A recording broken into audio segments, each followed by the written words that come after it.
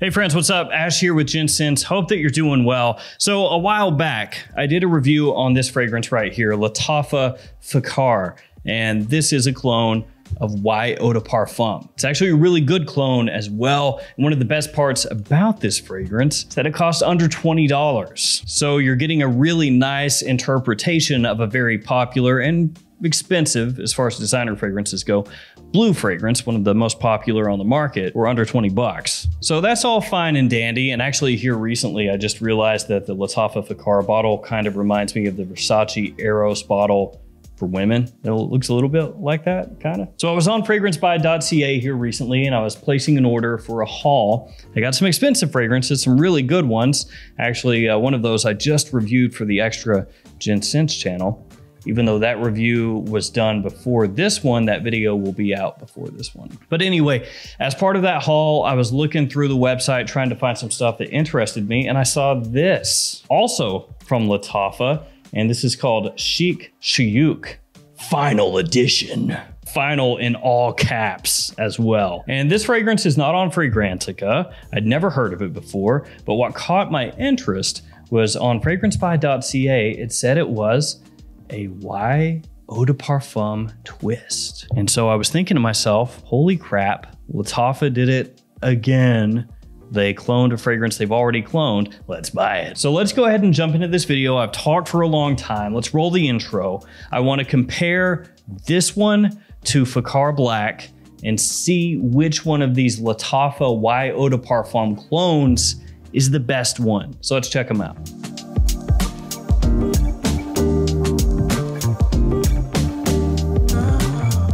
Let's check out price first, and I'm just going to use kind of a roundabout price because if you buy on fragrancebuy.ca, and also I'll link these in the description below in case you want to check them out, the price will fluctuate a little bit because it depends on what the Canadian dollar is to the US dollar at the time. But Fakhar Black here is going to run you, I think, around $18 US. And then this bad boy, Sheikh Shuyukh Final Edition, sorry if I'm butchering your pronunciation there, is going to be a little bit more expensive to the tune of like four more dollars. So essentially, in terms of price, I think it's a wash. I mean, when you're that cheap, three, four bucks, five bucks is, is not a big difference. This one is unopened. Let's go ahead and crack into it and we'll compare presentations really quickly. So here we got the box. You have uh, the name of the fragrance, the name of the house, size and concentration on the front there. This is a 100 ml eau de parfum. And Fakhar Black is also a 100 ml eau de parfum. So the exact same there. You have a little blown out, washed out picture where it says Lattafa. You have the name of the fragrance house on top, and you have the certificate of authenticity sticker on one side of the box along with your batch code. On the bottom, you got your ingredients and it slides out like so. And then uh, the top of the box, I guess, just opens up. Yep, there we go. Ta-da. And here we got the bottle and uh, she is not a looker. no, kind of ugly. So you got the name of the fragrance and the concentration on the front there. Got this kind of faux black crystal thing on top of the cap. It looks really cheap. On the bottom, you have a sticker and the cap slides into place, but not super snugly. So let's put it to a vote. Fakhar Black Box or Sheikh Shuyukh Final Edition Box. For me, kind of a wash, but I, I, guess I'll go Fakhar. And in terms of bottles, we've got the exact same color scheme actually. So that they have right in common. And uh, I'm gonna have to go Fakhar once again. Cost a little bit less and the bottle looks nicer because this looks atrocious. But that doesn't matter. Let's finally spray these on. Let's see how they compare side by side. So I'm gonna put the Fakhar on my left hand. There we go. And at the same time, we will put the Sheikh over on my right hand. There we go. Atomizer is pretty much the same here. Let these settle for just a second and then we'll go in. So yeah, Fakhar Black is immediately recognizable as Y Eau de Parfum.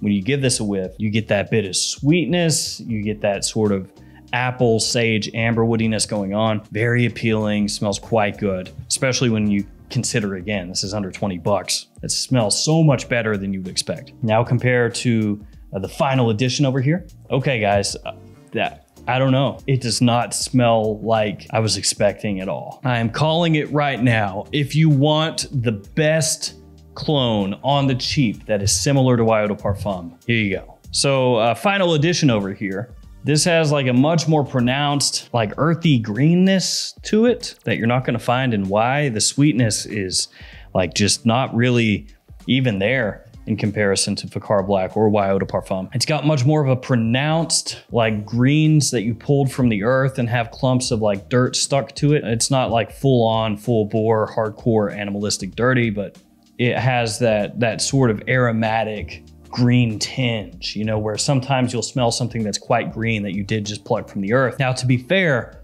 on the website, on FragranceBuy's website, it says YEDP twist. So they didn't just say straight up Y Eau de Parfum clone, but I definitely was expecting more Y. So let me try to see if I can think of if this is a twist, what is it uh like how how is this a twist. Like, what is it? Is it Y Eau de Parfum mixed with something else, or is it just its own thing, or is it even a clone of like a completely different fragrance? Uh, let me try to figure that out. I mean, maybe as it dries, like you can pick up a little bit of that Y flavor in the background, but even as it dries down, it's not really like the prominent part of the fragrance. It's not the focal point. It's not the star of the show. It, it's kind of creeping forward and maybe as it dries on my skin further, at that point, it, you know, it steps into the forefront and, and does become more prominent. And then at that point you say, oh, okay, yeah, yeah, a little Y Eau de Parfum action going on here finally. But especially in that opening, it did something else. I'm gonna spray the opening on again uh, because the first time that I smelled it, I was not prepared for that. So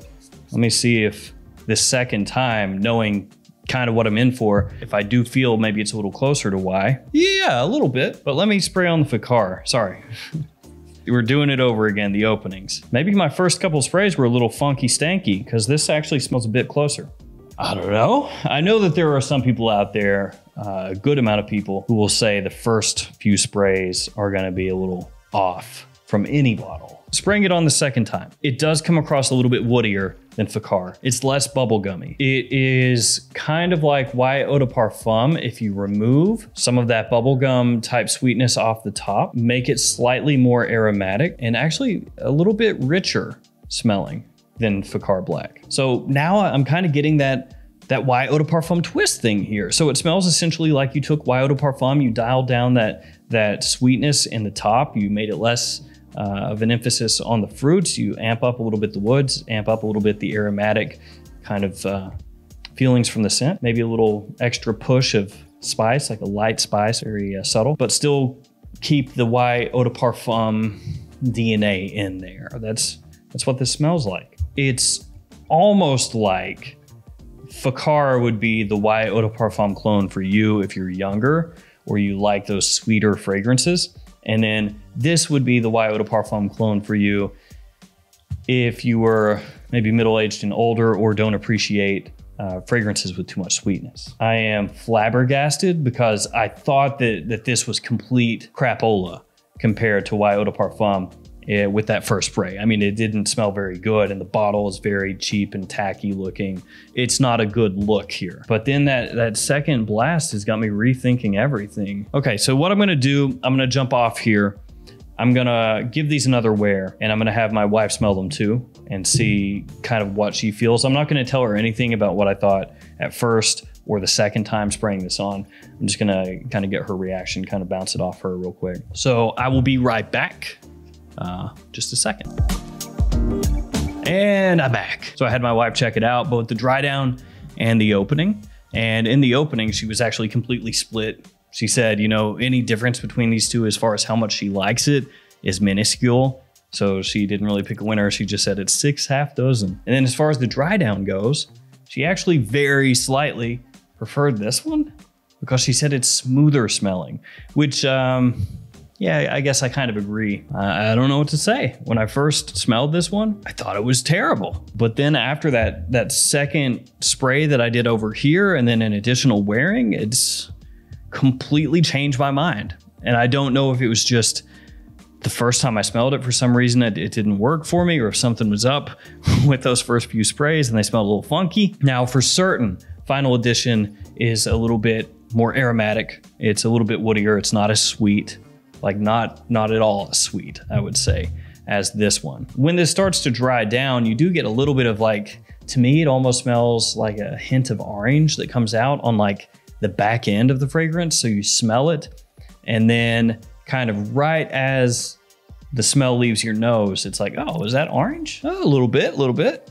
So that's very strange how that comes across. But certainly, I would say this is Y Eau de Parfum with the twist in the ways that I've harped on a number of times in this video already. That opinion has not changed as I've worn the fragrance a little bit more and as I've had my wife smell it. And overall, it's really just what you're looking for in a Y Eau de Parfum clone.